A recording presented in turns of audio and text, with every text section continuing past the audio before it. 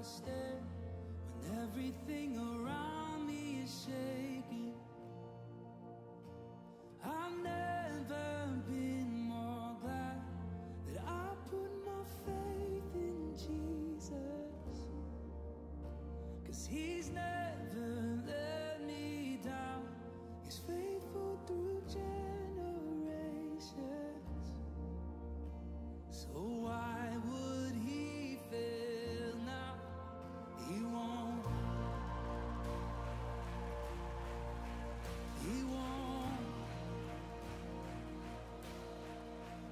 still got joy.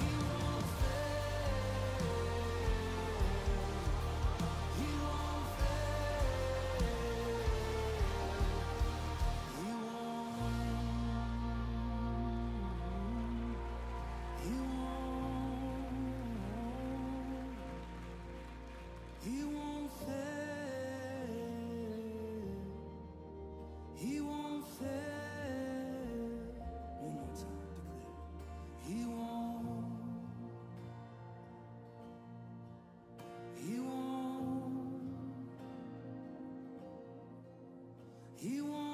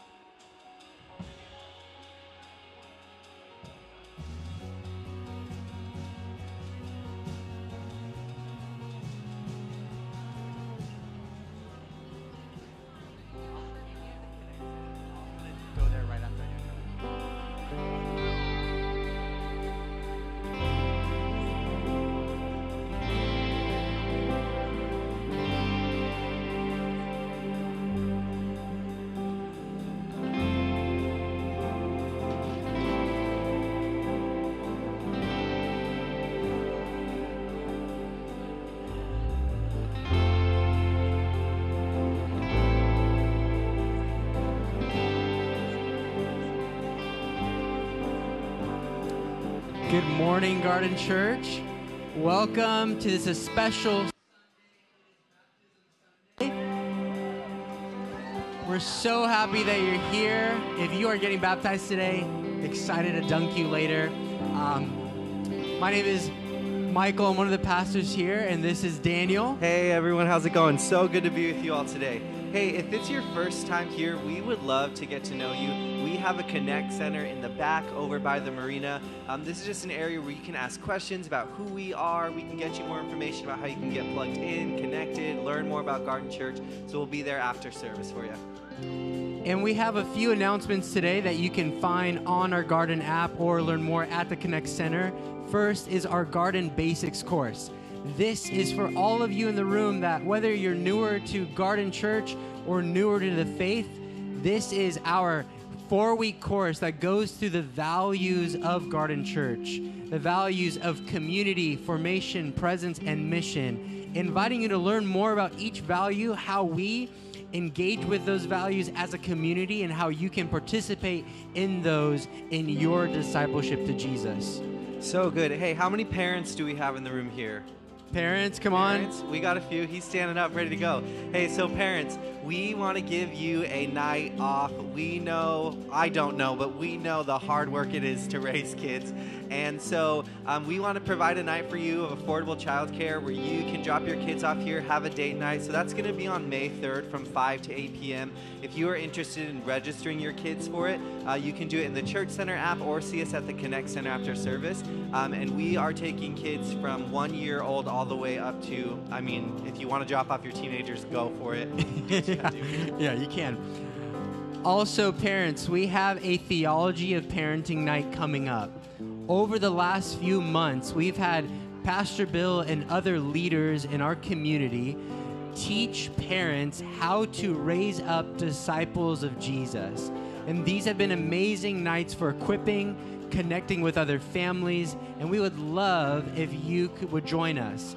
We have uh, these this is for parents of all ages. If you have you're expecting or you have teenagers, whatever it is, this will be useful for you and your parenting and how to raise up faithful followers of Jesus that don't lose their faith when they graduate high school, but they are even stronger and set for the rest of their lives for how you've raised them in the home.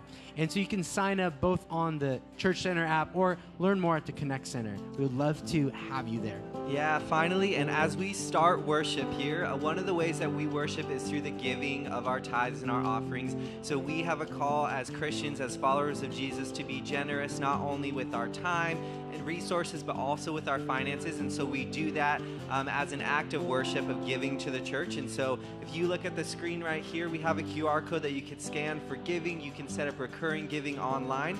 Uh, we also have tithe boxes in the back for you. Uh, why don't you all stand with us and we're going to begin worship right now.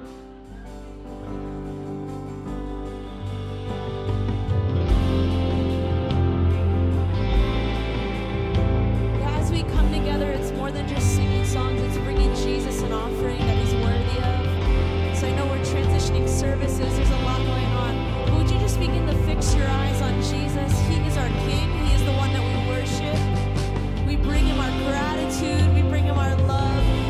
Jesus, you are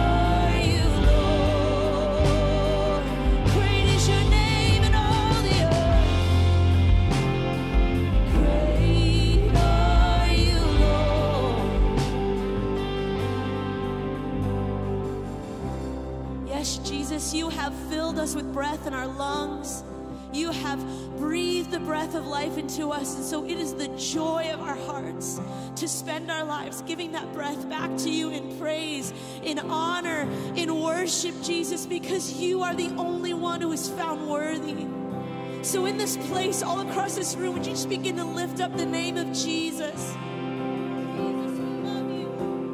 You can just say his name, you can sing his name, you can say thank you.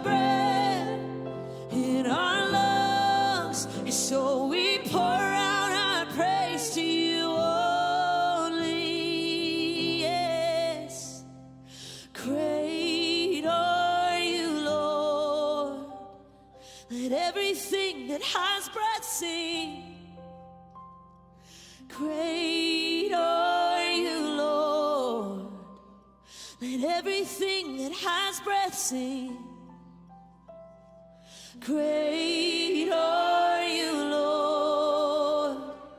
Let everything that has breath sing. Great are you, Lord. Thank you, Lord. And oh, the cross, what you've done. It was more than enough. It was more than, oh, the cross what you've done. The power of your blood was more than enough. Oh, the cross, what you've done, it was more than enough. It was more than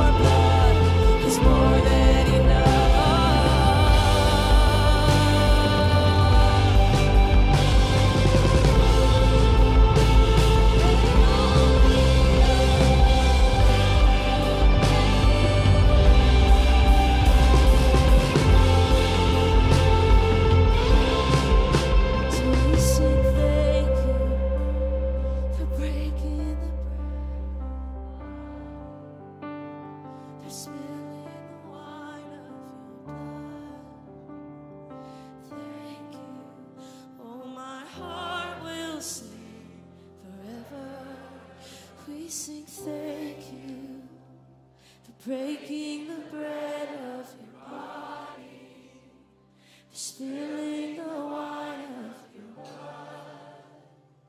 Thank you, oh my heart will sing forever. We sing thank you for breaking the bread of your body. Thank you, Jesus. Spilling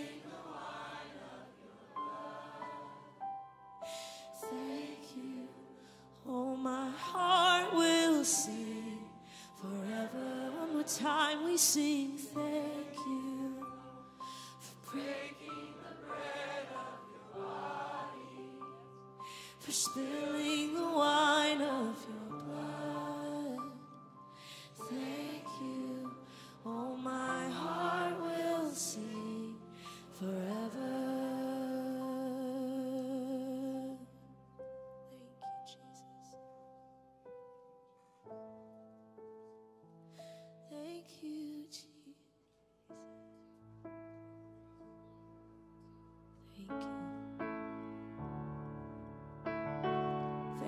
Jesus. Some of you may be experiencing like a, a new revelation of who Jesus is. And we just say, Thank you, Lord. And we just respond with worship and honor to you, Jesus.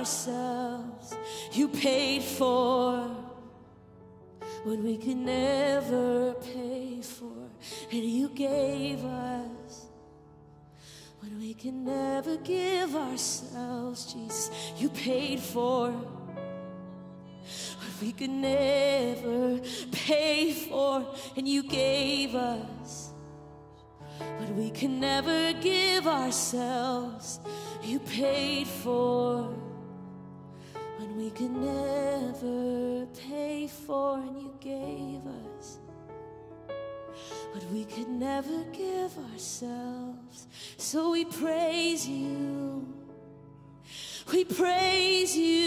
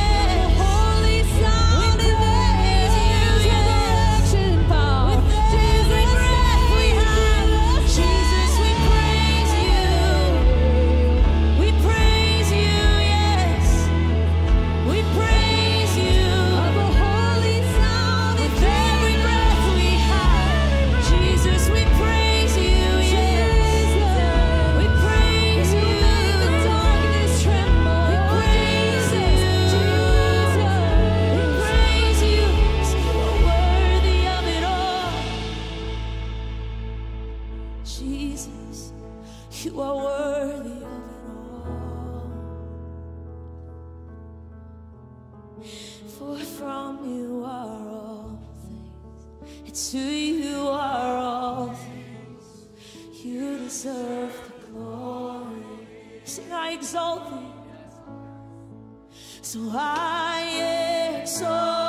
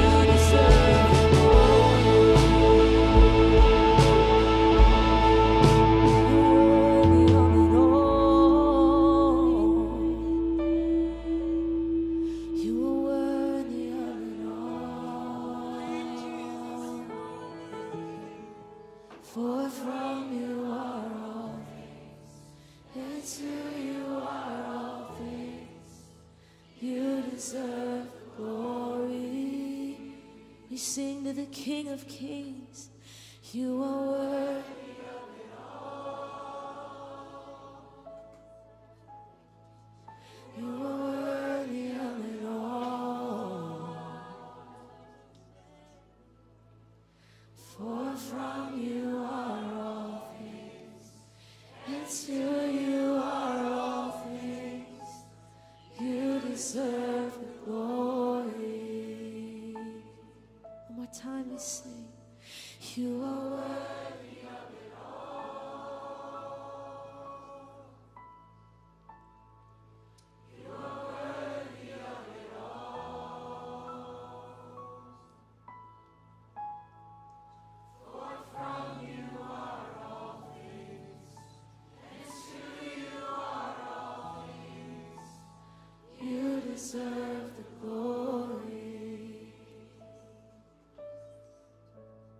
Just stay here for a moment. Don't don't waste this moment. Close your eyes. Open your hands. If you're a guest, you can just quietly close your eyes and open your hands. We just recognize that God is with us.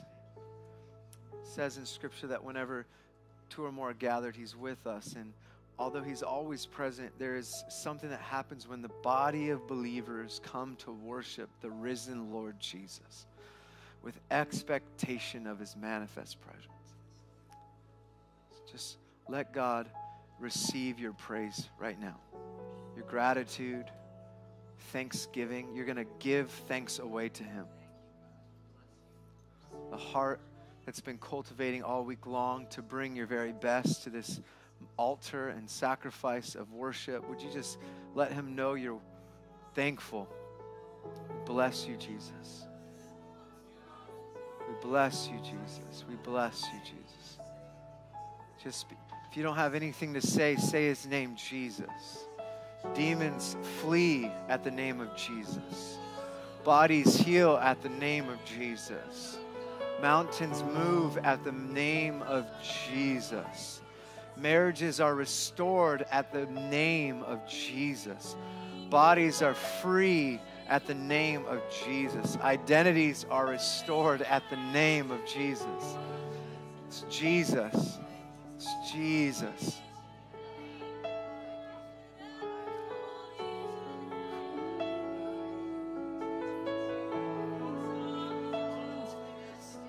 Bless you, Jesus. We bless you, Jesus.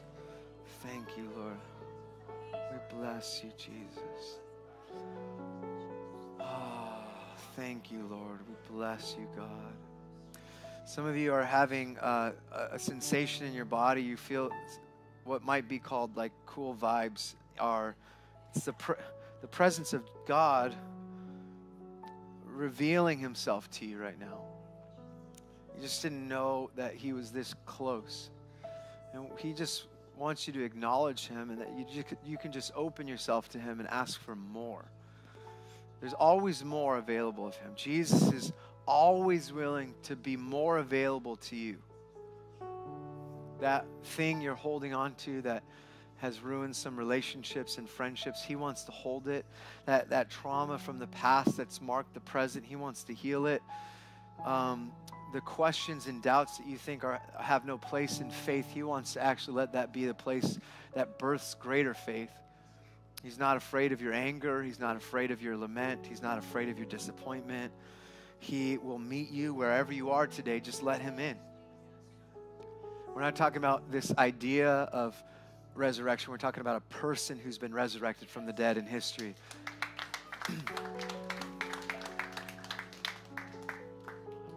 Just a little bit longer.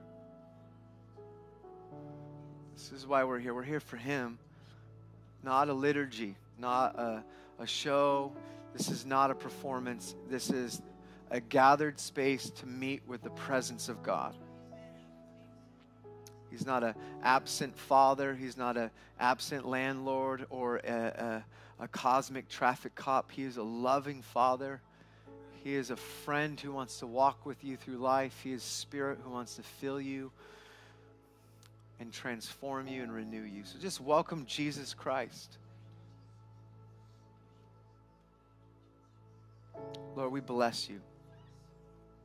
We honor you. We direct our attention, which is the fuel of worship in the spiritual life. We uh, realign our thinking, our behaviors. We repent and we turn away from the things that caught us this week, captivated us, drew us away. Would you woo us back to the center, which is you? Allow us to uh, enjoy your presence in Jesus' name. Amen. What's up, church? Um, just a moment, kids. There's a pool here, and after the service, we're going to baptize some of you. So there's going to be baptisms in a few minutes. But go ahead and follow your your leaders out and go back to kids' church. We're so glad you worship with us. Thanks for being here. The rest of you, take just a moment, grab your communion elements, and say hi to the people around you. I'll come back and lead us through communion.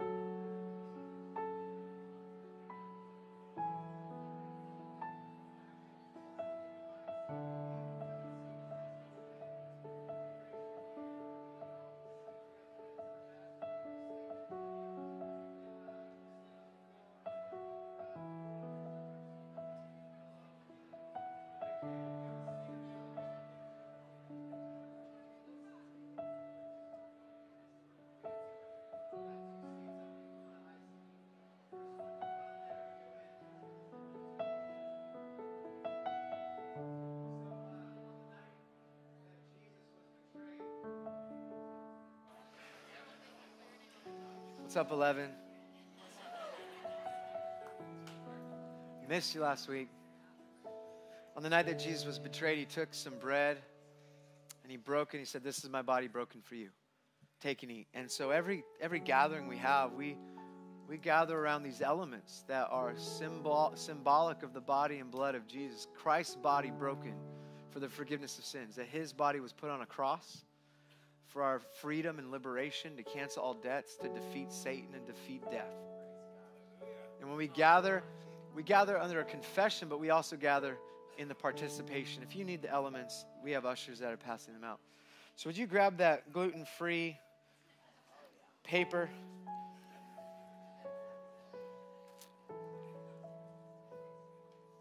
This is Christ's body for you, broken. Examine your heart, give thanks.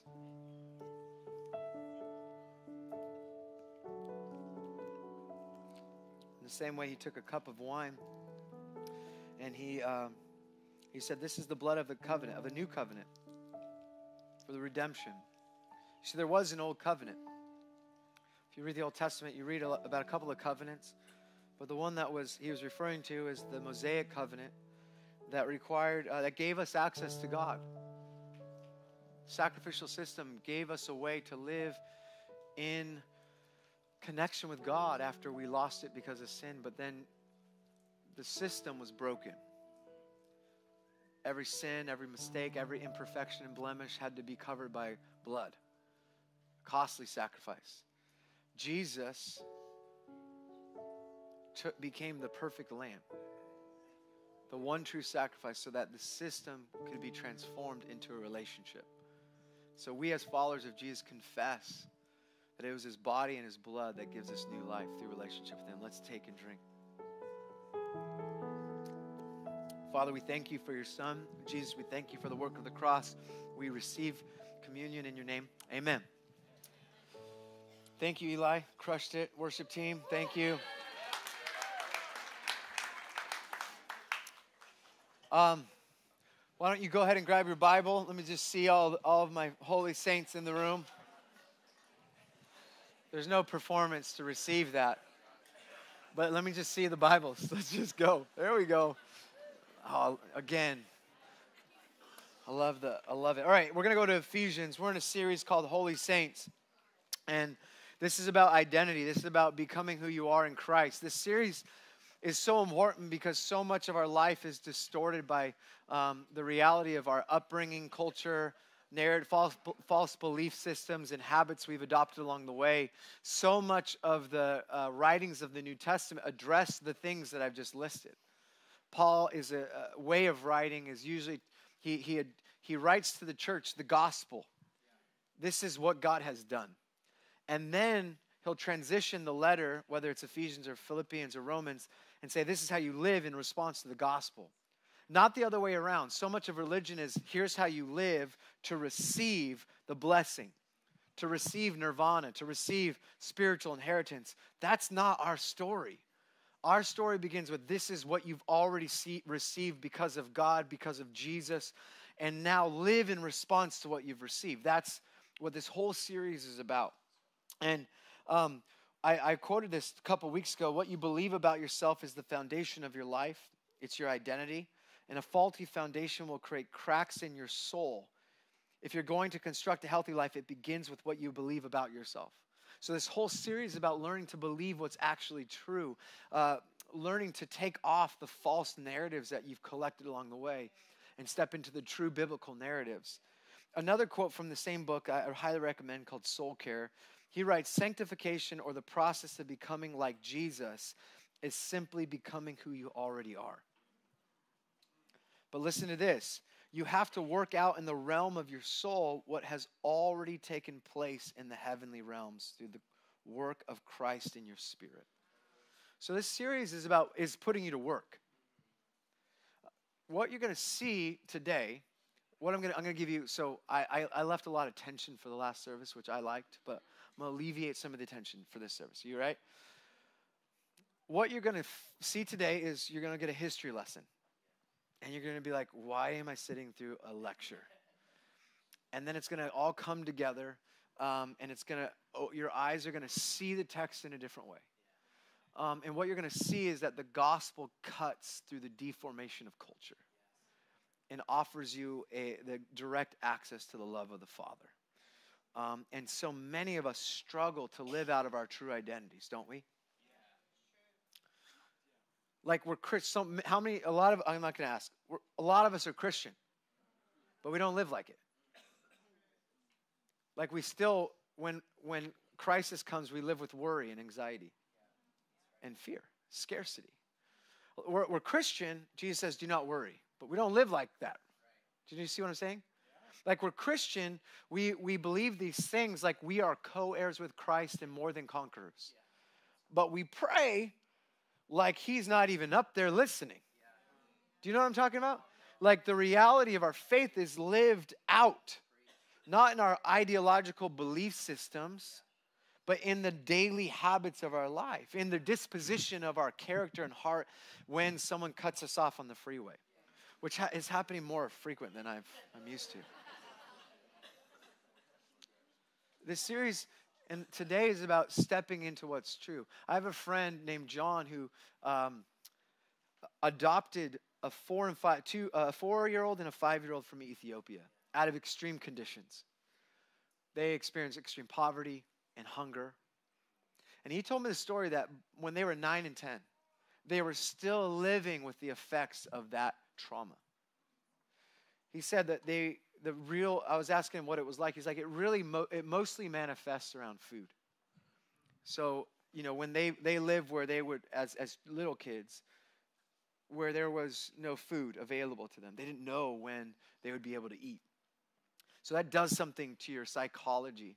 That does something to your way of viewing the world. It does something to your body it does something to your fear. When you have the possibility of not eating, that anxiety and scarcity manifests into the physiological makeup of your bones, right? Like that we know now that trauma is stored in your body.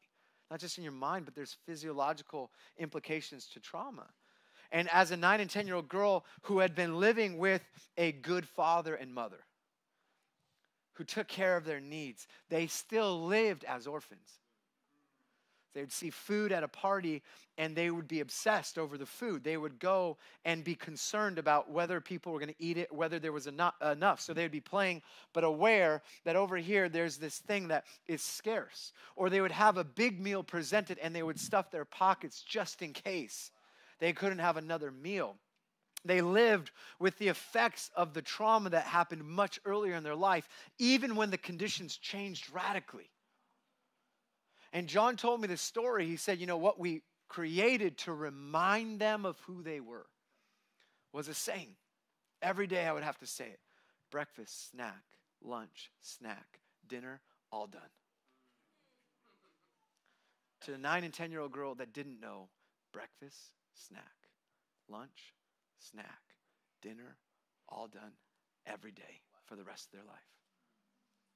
Because you know whether you've been truly orphaned and experienced poverty to the extreme level, or you've lived with an abandonment or emotionally absent father, or you've experienced trauma or betrayal, or you've just been deformed by culture, that you have a hard time living into what's true because you've been con- conditioned by an intentional force working against your soul. So I'm here today to simply say breakfast, snack, lunch, snack, dinner, all done. Can we pray? Father, you're a good father. Make that real today.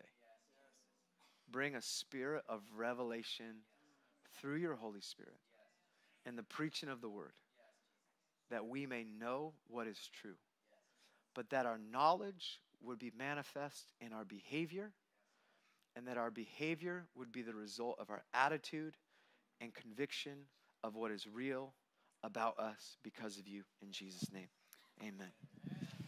Can we just close and do baptisms?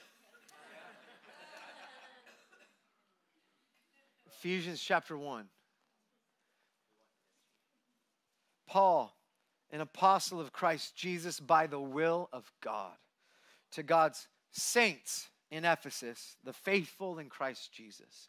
Grace and peace to you from God the Father and our Lord Jesus Christ. Praise be to the God and Father of our Lord Jesus Christ, who has blessed us in the heavenly realms with every spiritual blessing in Christ. For he chose us in him before the creation of the world to be holy and blameless in his sight. In love, he predestined us for adoption to sonship through Jesus Christ in accordance with his pleasure and will, to the praise of his glorious grace, which he has freely given us in the one he loves. In him we have redemption through his blood, the forgiveness of sins, in accordance with the riches of God's grace that he lavished on us with all wisdom and understanding. He made known to us the mystery of his will according to his good pleasure, which he purposed in Christ to be put into effect when the times reach their fulfillment, to bring unity to all things in heaven and on earth under Christ. Amen. The word of the Lord. This is one, the longest sentence in the Bible, verse 3 through 10. It's one long run on sentence. It's worship, it's doxology. Paul's trying to convince you pagans, Ephesians, pretend you're from first century Ephesus, recently converted to Christianity from your cult worship of Artemis or the imperial cult of Rome or the hundreds of deities that you worship for various things in Ephesus because that's your cultural formation. And he's trying to convince you of who you are because of Jesus. And he doesn't start with addressing your issues, he doesn't start with the false identities. He starts with what's true so that you know what the imitation feels like. He starts with, This is who you are. And we're going to look at it in a second, but I want to give you history. So here comes the, the, the deep dive into some historical context. And, and I say history, and I'm saying this in a kind of playful way. You'll see why. So stay with me as we take a deep dive. So in the New Testament, uh, the Old Testament ends in Malachi, the New Testament begins, and there's about 400 years between the Testaments. And during that time, there was a lot of conquest and conquering of nations. And one of the persons who did a lot of conquering was Alexander the Great. You guys ever heard of that guy? So, Alexander the Great wants to conquer the world, and he is determined to that he is a gift to the world bringing salvation. Salvation was the culture he embodied Hellenism. Greek culture, Greek worldview. It was the way of thinking. It was their uh, language, their belief systems, their values, their ideology, their, their religion, and their longings for the world. He would go into a new territory, conquering them as a people, but offering them a new culture to live by. So Hellenism was all about intentional cultural formation. He was so strategic, and I want you to pay attention of the strategy of cultural formation and ask yourself do we live in a modern era of similar strategies? He would go into a new territory and establish a temple and the temple would be dedicated to the, to the greek gods that they worship now that may seem like, like archaic but for the, them it was their way of thinking. It was their there was it was their philosophy of life and how they approached the world. And the temples were designed to keep people uh, uh, complying to the greek worldview. And then they would bring in arenas and inter, uh, think of these as like the Colosseum. They would bring these sports arenas where there'd be conquests and, and, and battles to entertain the masses, to keep them distracted and entertained while the politics were happening behind the scenes. Little did they know that their freedoms were being taken, that narratives were being uh, uh, established, and their philosophy of life were being formed into what they wanted by the sports of their day. Now, I'm all for the Lakers. We need to intercede for them today. Because the Nuggets are, uh, man, we'll talk we're going to do a whole intercession series and like talk about demonic activity later but anyways um, just kidding just kidding just kidding. Theaters were used to um, pass on the philosophy of the day through storytelling.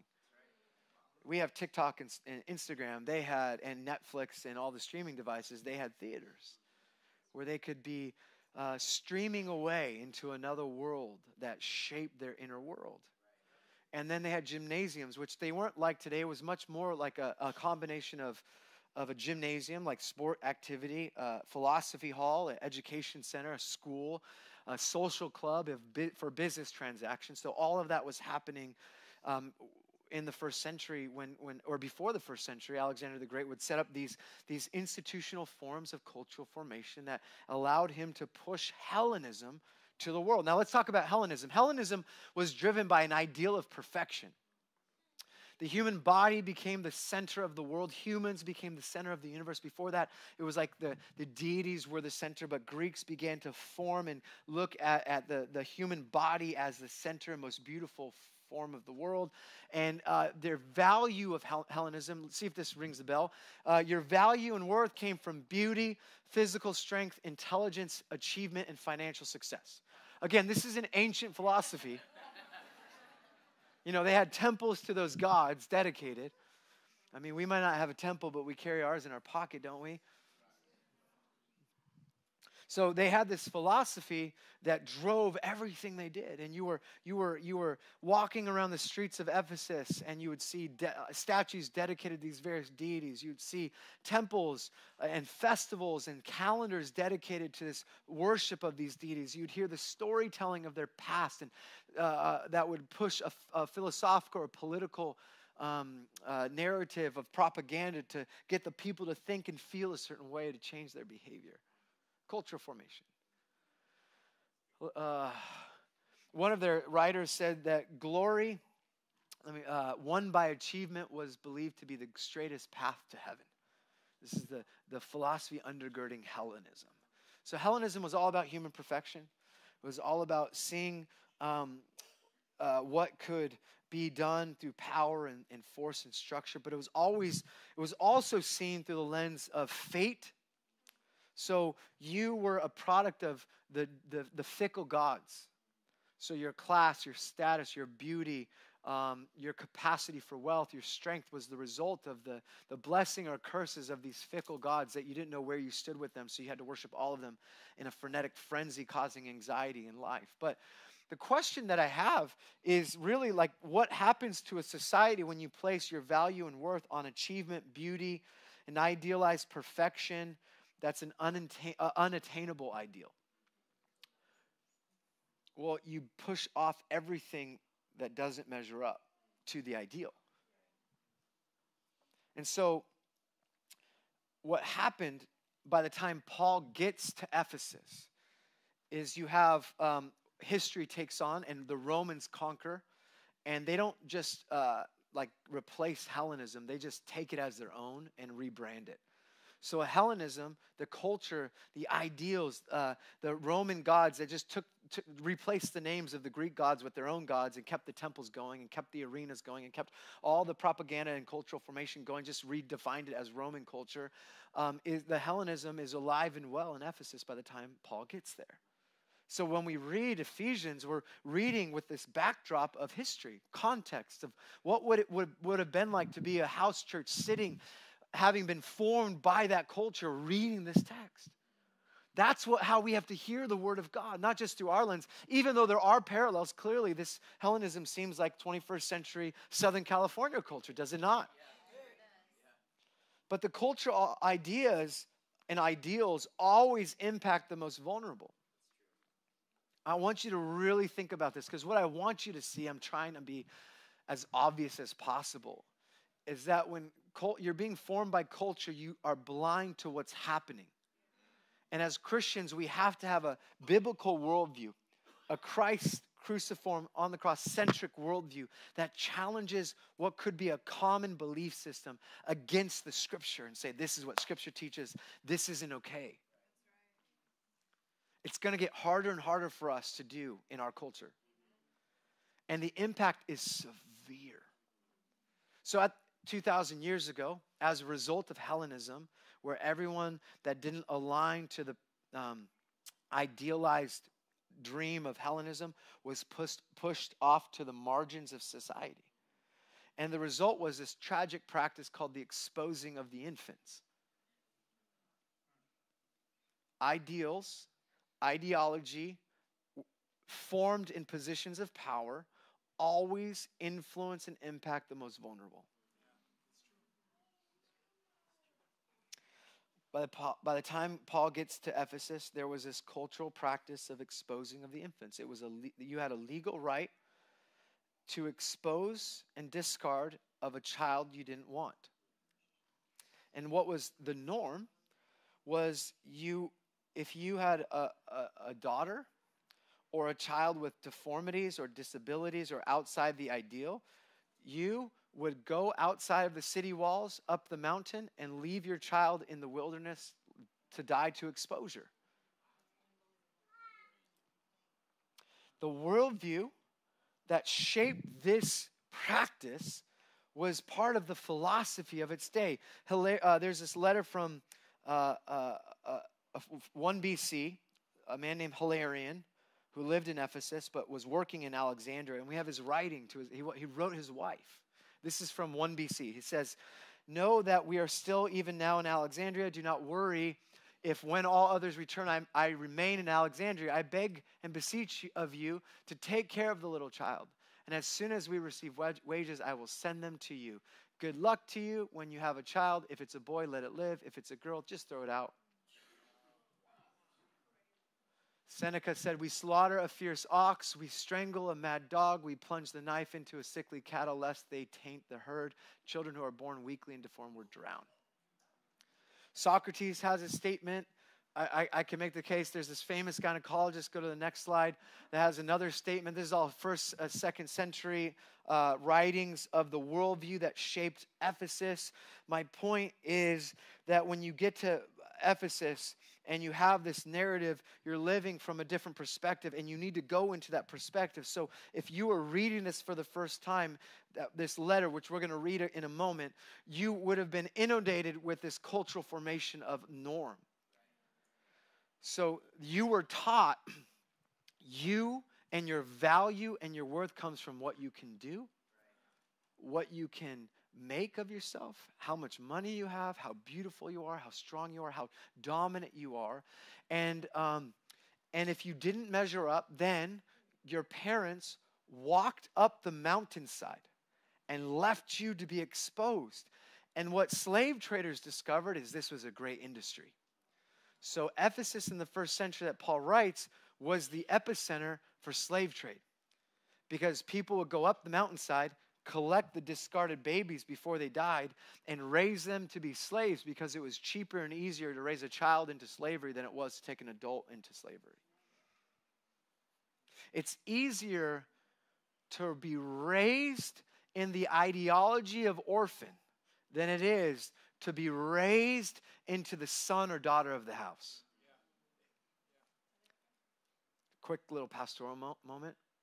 So many of you have been traumatized by Satan's lies as a child, and you still operate from that lie from childhood, and you don't even know that you're in the Father's house. So, Ephesus produces the kind of culture that the gods leave you because of a blemish, exposed in the wilderness. All because of this cultural formation. So you get to Ephesians. Is that okay for some history? I got a little bit more history, but can we read this again? So, in this context of Hellenism, we read these lines Praise be to the God and Father of our Lord Jesus Christ, who has blessed us in the heavenly realms with some, every spiritual blessing. Is that every? That's everything in Greek. I just pause. Before you even say yes to Jesus, this becomes the identity you accept immediately. Okay, now listen to this. For he chose us. Who discarded you? Ephesus was the, the, the cult where gods discarded you, disowned you, rejected you because of your blemishes and imperfection. Our God chose us before the creation of the world to be holy and blameless, without a spot, without a blemish. Do you hear this? Do you hear it? In love, he predestined us for adoption to sonship in Jesus Christ in accordance with his enjoyment, enjoyment, desire, and will. Now, I know some of you are like, oh, there's that word. Would you get into the theological debate of predestination? I want to know are we Arminian or where are we at? The first century would have wept. They wouldn't sit around debating these theological concepts. They would have been hearing that the Paul is saying, Our God in Christ has chosen us. We're without blemish. And then he says, He, he, he adopted us. Now, that word, more than anything else, is a picture of the gospel. This is the word that cuts through the deformation of culture. This phrase would have been electrifying. They would have looked at each other and grabbed, like, what did he just say? Like the Joe Rogan meme, like, oh, what's going on? I love that you know what that is. You're like, wow, he knows what that is too. He's so broken. this word would have been a legal term used by the Romans. Son, it's called son placing. And it, it is the best image of what the gospel is. And most of us have no clue that this actually is a legal term that would have in the first century, especially in Hellenistic culture, a significant influence on how you see yourself because of Jesus. So, son placing is taking someone who was not previously a son and placing him as a member of your household and family. Now, just stay here for a second. Don't go to the next slide. So, what, what you'd want in Roman culture was a son because women did not have power to oversee your estate. So, if you were a wealthy, influential family, you would have a son. You'd want a son. But if your family didn't measure up, you could discard, disown, kick them out, right? Biological children had no power until they were handed the estate and the identity that this was the member of the house. But what was a common practice was a wealthy couple who didn't have biological kids they wanted, they would take a member of their staff, a slave, and adopt them, son place them as the, the heir to their, uh, to their wealth and estate and inheritance. That's the process of son placing. But the process and the details is where the image of the gospel has radical implications for your life. All right, so no matter where you come from, when Paul says he's you've been adopted into sonship or daughtership, he's saying this is what God has done for you in Jesus. This is the, the legal process. The adoption had to be public. The father of the house and estate would make it known to everyone that this person's going to be their son. And the community had to witness this transaction. The first thing that the person would do, the father would cancel the debts of the slaves. All the debts would be canceled. And now they were a free man. And then they would be given a new name. They'd be given a new family. They'd be given a new fa- status. They'd be given a new father. They'd be given a new identity. They'd be given new privileges and new responsibilities. They were given the family business. The gospel of Jesus Christ in a word or a phrase, son placing, adopted. When Paul writes, You have been chosen before the creation of the world, in love, he predestined you to be in this, uh, adopted into some place. What he's saying to you is breakfast, lunch, breakfast, snack, lunch, snack, dinner, all done. So that you never question the fact that you can't be disowned, you can't be discarded, that you have a Father in heaven who's given you everything. He's the God that climbs up the mountain and picks you up and says, I chose you. That's our God. But you're living in the fear that's been embodied in your body and the lies of culture.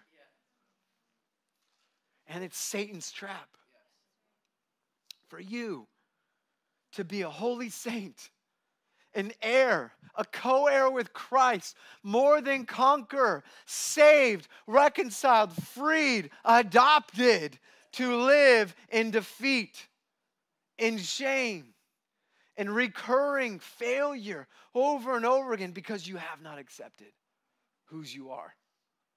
Is it too good to be true? Absolutely. Welcome to Christianity uh, an entire movement built on too good to be true. You don't know what I've done. It doesn't matter. The cross creates a way. How do I get to the Father? Well, there's a story of the prodigal son, which you've heard before, but it seems to me the moment he turns away, the moment he turns around, which is this idea of repentance, the moment he turns around, he is that much closer to the Father's embrace.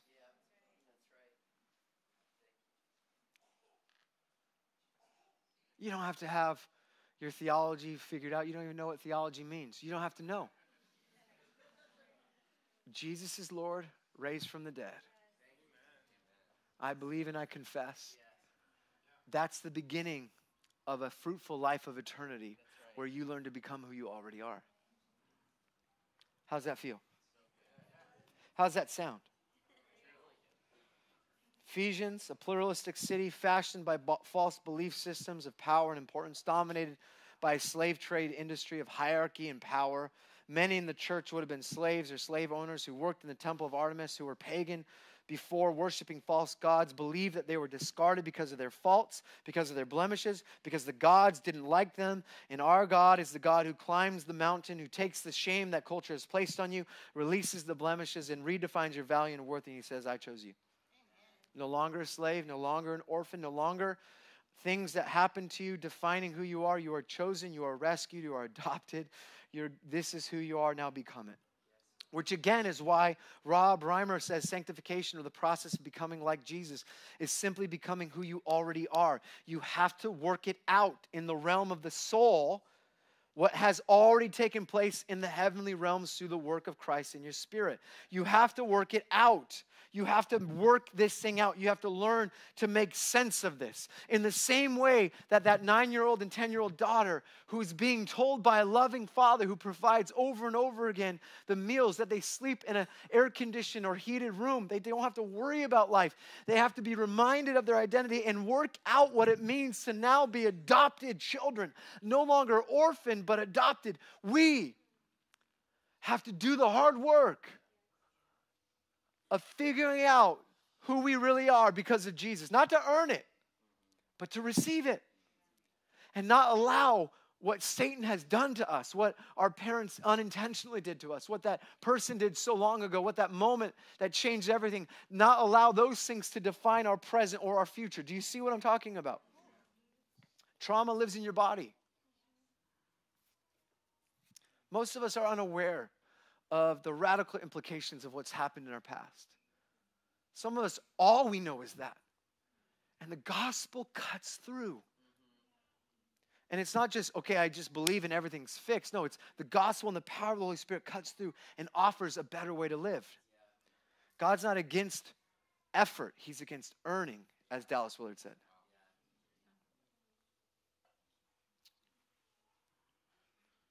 Do you really know who you are?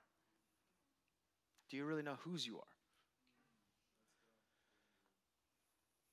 It's not enough to sing songs. It's amazing that we have this kind of worship.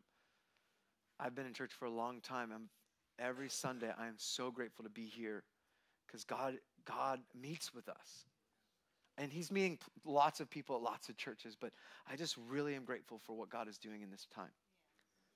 Literally, lots of people accepting Jesus for the first time, healing, transformation, reconciliation of marriages, addictions are going away, new faith. We baptize a bunch of people already in the. It's unbelievable. It's not enough just to believe that and participate. We got to work it out.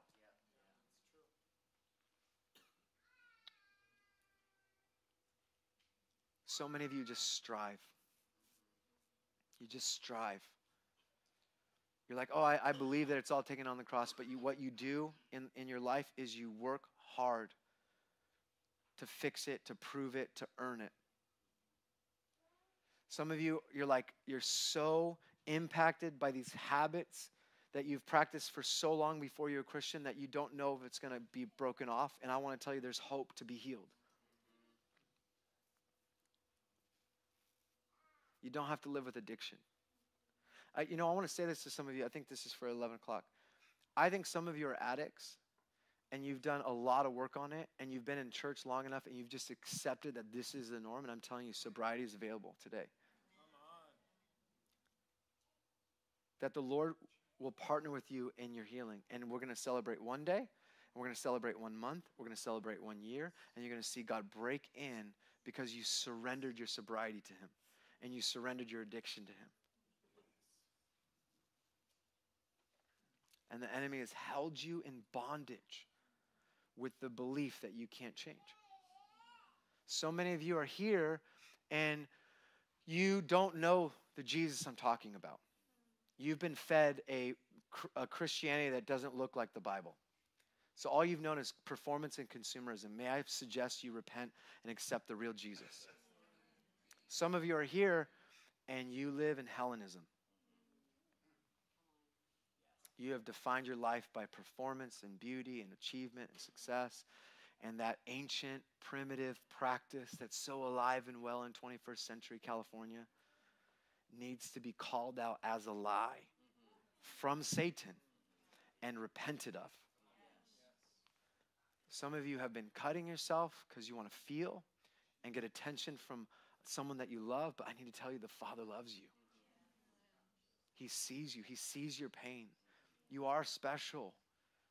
And He wants to heal the wounds, not only that have been done to you, but the wounds you've caused yourself. He wants to heal scars. I think He wants to, He literally, I feel like the Lord wants to uh, remove scars today of shame.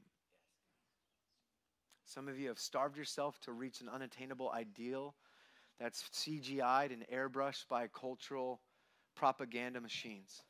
And the Lord wants to heal your body and restore what the locusts have, have taken. Hellenism needs to be called out as Satan's ideals. Are you guys good? You- I wasn't going to do prof. This is some prophetic ministry right now. So when when the prophetic ministry, I didn't do this in the first century, uh, first service, first century. I didn't do it then either.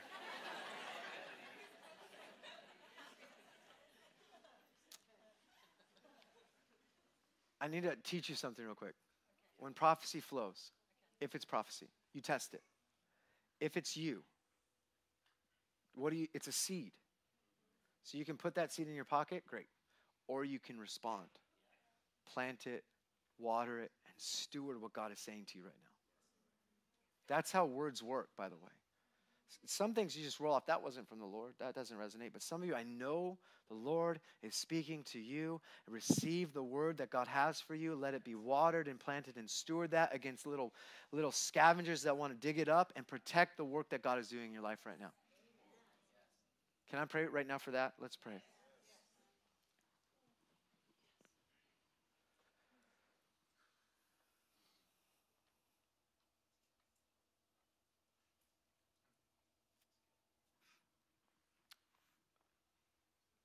Just all of our eyes are closed. You just raise your hand if one of those words resonated? I'm going to pray over you. Raise your hand. You can keep the lights up real quick. We're going to go back to teachings. Just keep everyone keep your eyes closed. We're trusting him. Keep your hands up. I want to see your hands. All right, keep them up for a second. Lord Jesus Christ, would you set my brothers and sisters free? Would you bring the power from your Holy Spirit to transform and heal bodies, to release the lies that the enemy have planted, to set captives free today, to feel your loving presence? The Father wants to just overwhelm you and ambush you with his love right now. That he chose you and he loves you. So, Lord, all the work you're doing to steward your children, I pray for obedient, faithful stewards of the word in Jesus' name. Amen. You can put your hands down. Thank you for doing that. A lot of you raised your hand. Can we all stand? I was going to preach some more, but I'm just going to stop. We'll let the Lord be the gardener today. Um, hey, don't move yet. I want to explain something, then you can move, okay? So, we're going to baptize some folks. So, if you're getting baptized in just a moment, we're going to play a song. After, after I'm done praying, you can go and change um, and then come down to my right, your left. Um, the kids are going to come in as well, and uh, they're going to be here and watch this. We're, we're going to we're gonna have some testimonies. Those that went to the uh, baptism class, um, they're going to share some testimonies, and then we're going to dunk people in the water. Now, this, this symbol, for those of you that don't know, is a great picture of the transformation that Jesus Christ gives us. Paul says that when you do baptism, it's symbolic that when you go into the water, it's like you're dying with Jesus on the cross. When you go under the water, it's like being buried with him in the grave. When you come out, it's like coming up with him, being raised to new life. Nowhere in the scripture do you just say a prayer. I know it's intimidating. Oh, I got to step into the water. That's exactly what you got to do. The Ethiopian eunuch on the road uh, back to his house after visiting God in Israel and not getting close enough because he was in the court of Gentiles. He was reading the prophet Isaiah. Philip comes next to him, tells him it's about Jesus, preaches the gospel to him. The Ethiopian eunuch says, Look, there's some water. What's, what can prevent me from being baptized? And then he gets baptized and heads home. I'm here to tell you here's some water. The only thing preventing you from being baptized is yourself.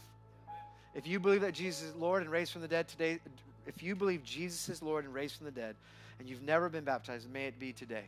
And we have we have a, a- our, some pastors and elders over here. If you'd like to be spontaneously baptized today, God's been stirring in your heart. We got a change of clothes for you, uh, a black shirt, and some towels, and we love to baptize you. So, Father, would you just release a spirit of worship? As we celebrate brothers and sisters coming to faith today, declaring to the world that they want to follow you for the rest of their lives, I pray we'd experience more joy than ever before. I pray for my brothers and sisters that need courage to step out of their, their seats and come into the waters of baptism for that to happen today in Jesus' name. Amen. So no longer I but Christ in me. For I've been born again, and my heart is free. The hope of heaven before me, the grave behind. Hallelujah, you brought me back to life.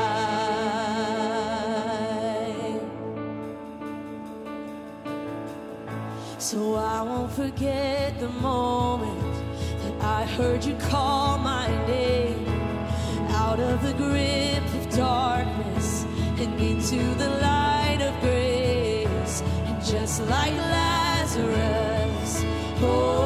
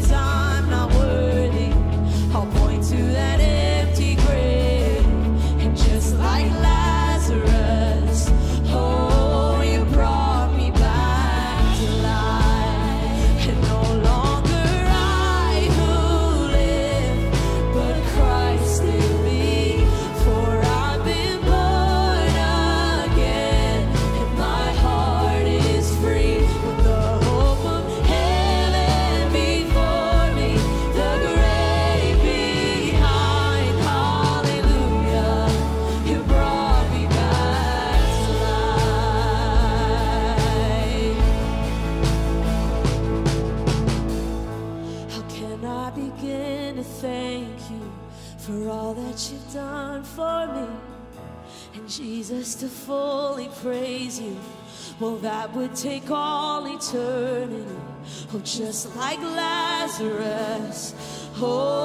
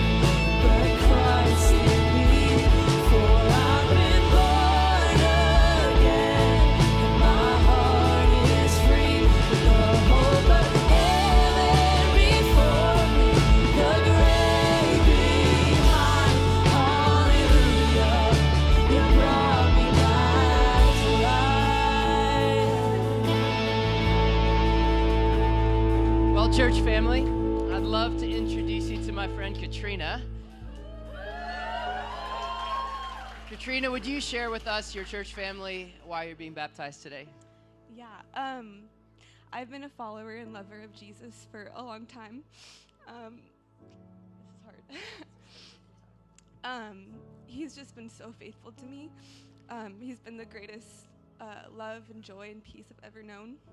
And I just want to um, continue serving him in my marriage with our future kids. Um, just, yeah, I want to love him all my life. And Praise, praise Jesus. Praise Jesus.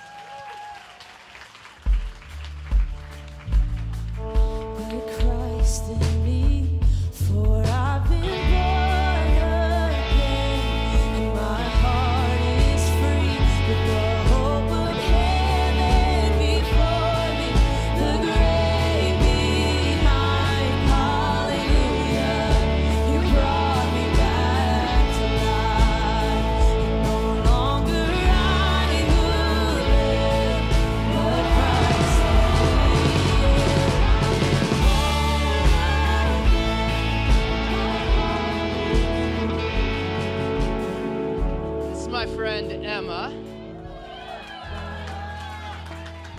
you share with your church family why you're being baptized today?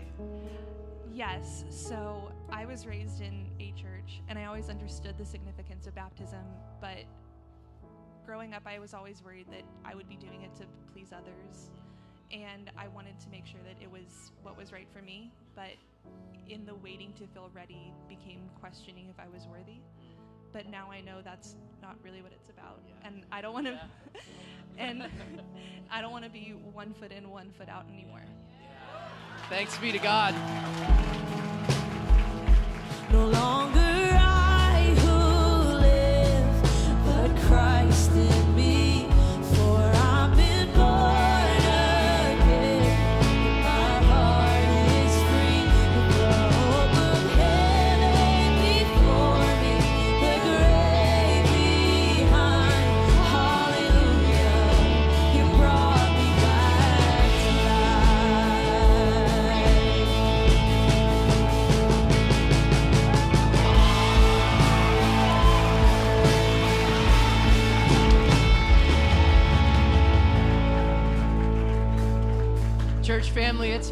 honor to introduce to you Willow.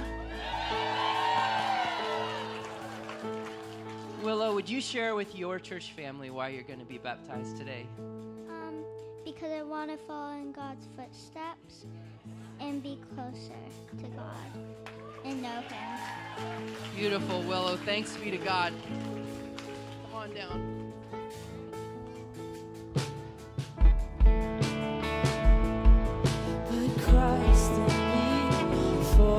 For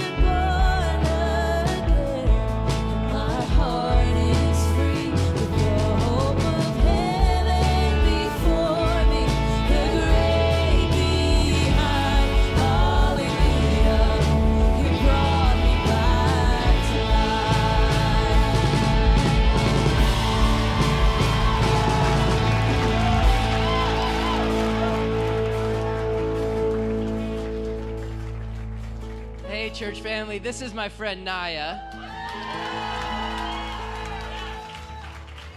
Naya, would you share with your church family why you want to be baptized today? because I want to follow God more and I want to be closer to Him. Amazing. All right, Naya. No longer I who live, but Christ in me.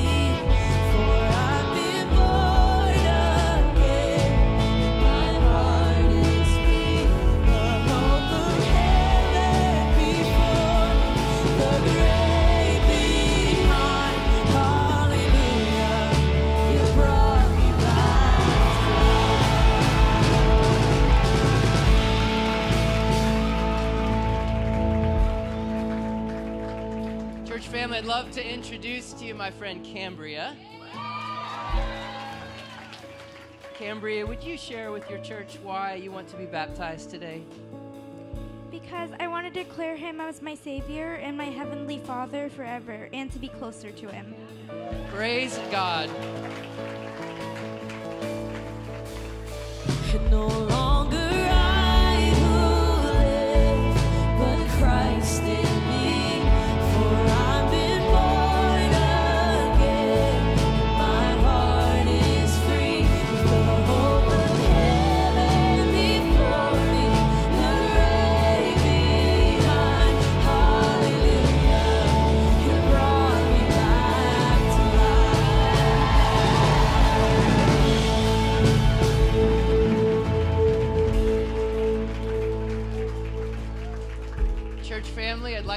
introduce Liz to you. Liz, would you share with your church family why you've come to be baptized today? I've been a follower for many years, um, and he's chosen me over and over again and blessed me and my family. And I don't know what better way to thank him than by realigning myself to him. Yeah. Thanks be to God. The enemy thought he had me, but Jesus said you are mine. Yes, the enemy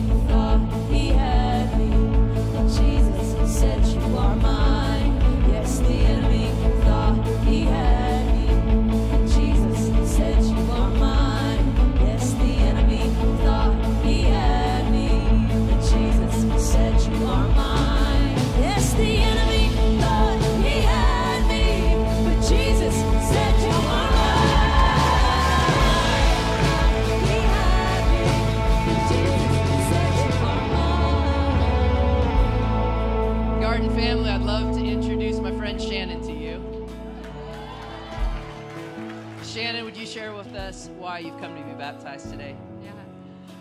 Um, I've decided to recommit, and I've found that fully surrendering myself to Jesus really is the only way. Yes, I've tried a lot of other ways and a lot of other things, and it, it doesn't work. And I am so thankful and so humbled to be such a recipient of such unconditional love. And I just want to show my love for him. Thank you, Jesus. Thank you, Jesus.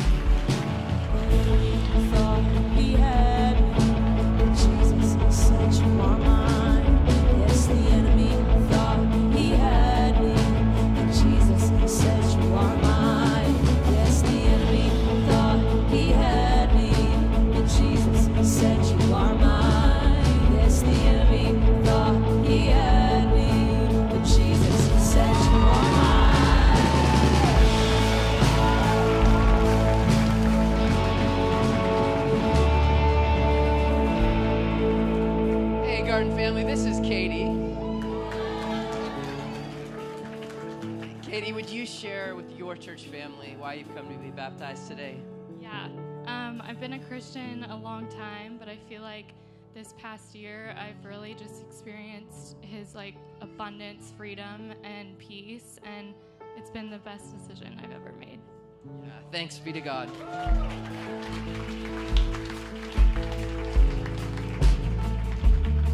Yes, the enemy thought he had me, but Jesus said you are mine. Yes, the enemy thought he had me, but Jesus said you are mine. Yes, the enemy thought he had me, but Jesus said you are mine.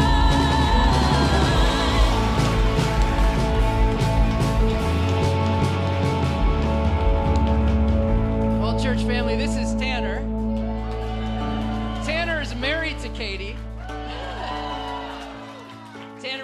with your church family why you've come to be baptized today? Yeah, Jesus has um, been at work in my life in a special and a new way these last few years um, specifically. And I'm just excited and I'm dedicated to living for Him each and every day. Praise God. Praise God, brother.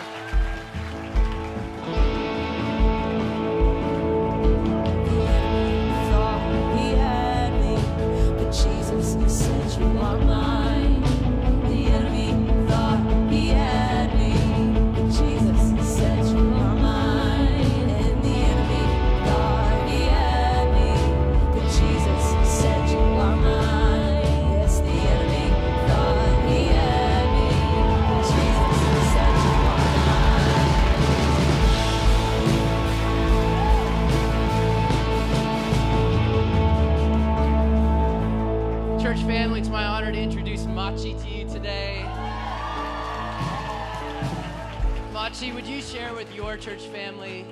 You've come to be baptized today?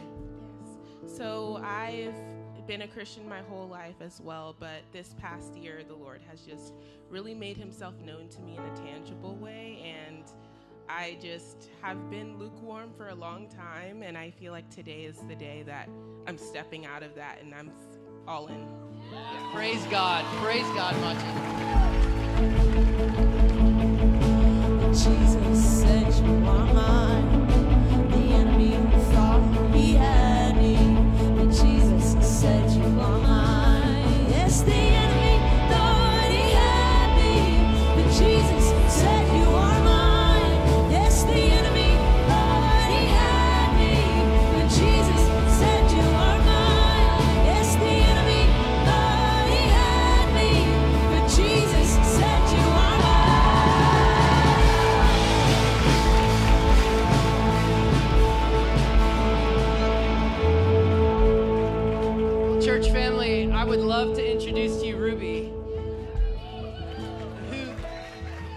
Just now heard the word of God and responded spontaneously to say, I want to find new life in Christ. And so Ruby is going to be baptized today. No longer I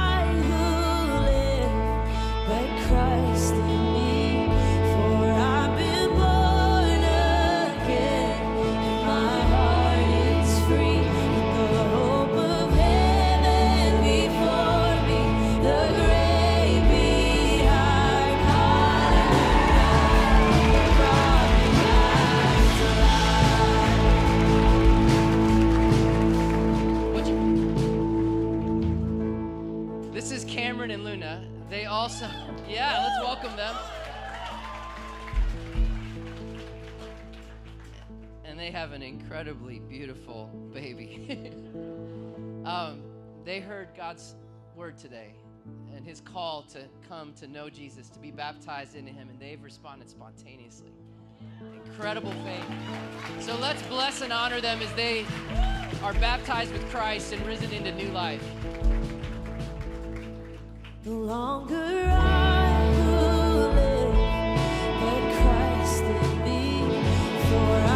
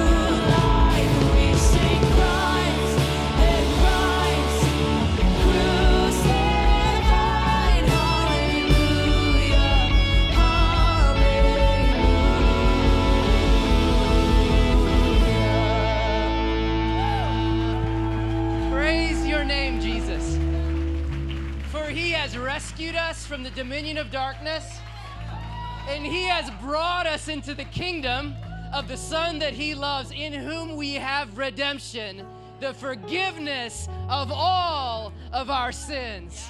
We bless the name of Jesus for the new life that he brought forth today. Isn't he so good? He is so good. Oh, guys, we love you. We're grateful to celebrate baptisms with you. If you are new to the garden, we have a Connect Center out back that we'd love to meet you at. If you want prayer or are considering following Jesus, some of our pastors will be up here to pray with you, to minister to you. And if you have children that are up here, parents, please come and collect them up here. We will release them to you. If not, they get to swim. Uh, but may the Lord bless you and keep you. May he make his face shine on you and be gracious to you. May his favor rest upon you this week. In Jesus' name, amen. Go in peace.